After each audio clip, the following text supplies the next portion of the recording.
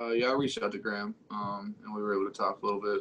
Um, we've always had a pretty good relationship, um, so just being able to talk to him, just give my best. He gives me his best, so um, I, uh, everything else we'll obviously not really talk about. But um, yeah, just being able to say that I'm I'm always going to be in his corner. He's been someone that's been um, a, a, role model for me, and and always been there for me since last year when I got in, I was able to call him during some of the games last year when I was doing well, when I was doing bad. So um, he's he's always been a really good role model for me. So I'm always going to wish him the best. So.